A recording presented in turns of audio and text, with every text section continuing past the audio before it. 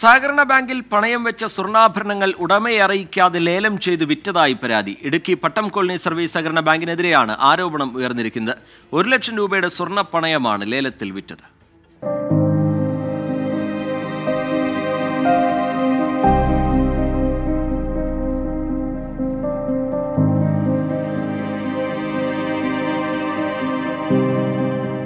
രാമക്കൽമേട് സ്വദേശി സ്മിത പ്രദീപാണ് പരാതിക്കാരി.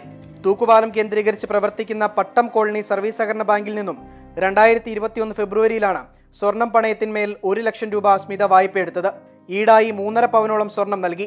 പിന്നീട് രണ്ട് തവണയായി ഇരുപത്തിയേഴായിരം രൂപ തിരികെ അടച്ചു.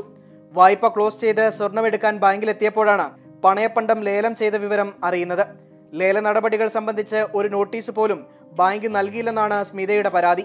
എട്ടാം തീയതി ഞാൻ എടുക്കാൻ ചെന്നപ്പോൾ ലേലം വിളിച്ചെന്നാണ് പറഞ്ഞത്. അപ്പോൾ ഞാൻ പിറ്റേ ദിവസം ചെന്നപ്പോൾ അവർ പറഞ്ഞു നിയമത്തിന്റെ വഴി പൊക്കോളാൻ വന്നു പറഞ്ഞു. അപ്പോൾ ഞാൻ നെടുങ്കണ്ടം സ്റ്റേഷനിലും കൊണ്ട് കടലാസ് കൊടുത്തു എ ഇ ആർ ഓഫീസിലും കൊണ്ട് കടലാസ് കൊടുത്തു. അപ്പോൾ അവർ അന്വേഷിക്കാൻ വരാമെന്ന് പറഞ്ഞിട്ട് ഇതുവരെ വന്നില്ല. എനിക്ക് എന്റെ സ്വർണം പിന്നെ ഒരു ലക്ഷം രൂപ ഞാൻ അവരുടെ കയ്യിൽ നെടുങ്ങണ സ്റ്റേഷനിൽ വെച്ച് കൊടുക്കും. അന്നേരം എനിക്ക് എന്റെ സ്വർണം കിട്ടണം.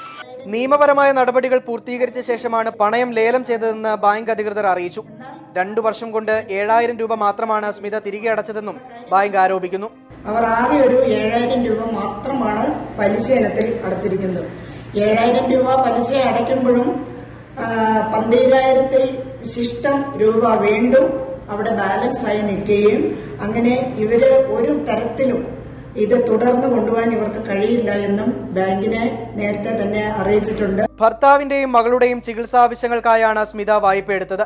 പണയ ഉരുപ്പടികൾ തിരികെ ലഭിക്കാൻ നടപടി സ്വീകരിക്കണമെന്നാവശ്യപ്പെട്ട് പോലീസിലും സഹകരണ വകുപ്പിലും പരാതി നൽകിയിട്ടുണ്ട്. സംഭവത്തെ നിയമപരമായി നേരിടുമെന്നാണ് ബാങ്കിന്റെ വിശദീകരണം. ട്വന്റി ഇടുക്കി.